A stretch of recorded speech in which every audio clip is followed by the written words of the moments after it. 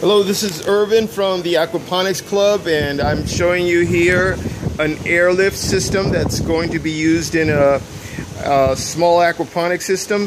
Um, right here, we're using the Ben and Glenn AquaZen uh, airlift uh, modification.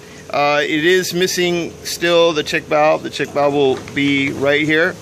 And we're doing this with a 12 volt uh, Chinese pump. Uh, it uses only 18 watts, so it's easy to hook up a solar panel to it.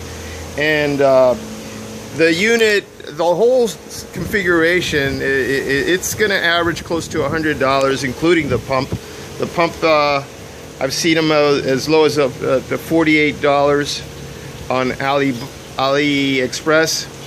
Um, I, have I can you can get a version.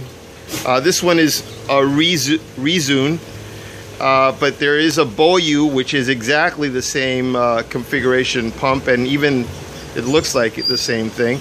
Uh, for a little bit more on Amazon, $54. And we're running this on a, a 15 volt laptop um, DC uh, uh, charger for, for, the, for the laptops. Um, it's discarded and uh, we decided to use that so we don't have to go and buy the solar panels all at once. Um, what happens here is that the air comes from the pump and it drags water up up this chute and uh, this this this will be right inside the IBC tank so it doesn't it doesn't you don't have to care about leaks or anything the neat thing about the the air this type of uh, pump is that it doesn't get clogged very easily. And um, so you, you don't have to worry about filtration. Uh, you can use your grow bed to become the filter. And uh, you do want to worry about putting some type of net so it won't pull in small fish up to your grow bed. Uh, it will carry the water up through here.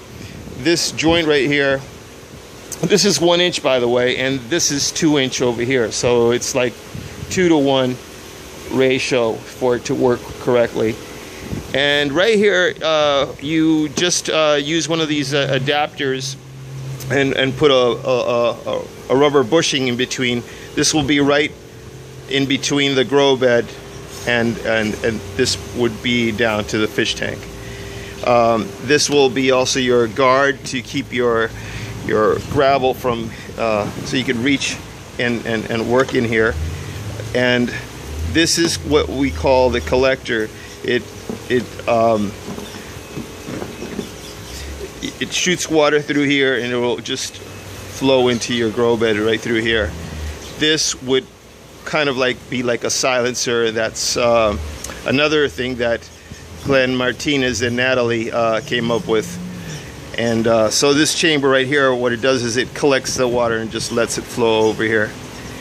Um, the rest is uh, the same type of stuff that you see almost everywhere is a bell siphon. And uh, what we're doing differently was we're not using a bulkhead, we're just using the adapter. Um, I don't know if I could twist this off here, but basically it's uh, right.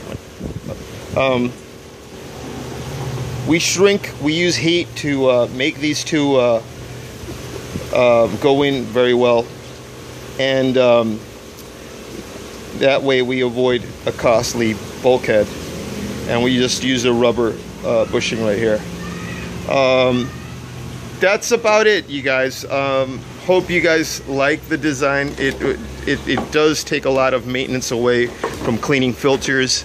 And uh, it's very efficient. It, it pumps a lot of volume of water with just very low wattage. So it's very ener energy efficient and it's it's an easy configuration to for sustainability. You just put a solar panel on it and, and a battery and uh, that's what we've been doing here and it works really good. This one's going for a school tomorrow. Um, so thanks for watching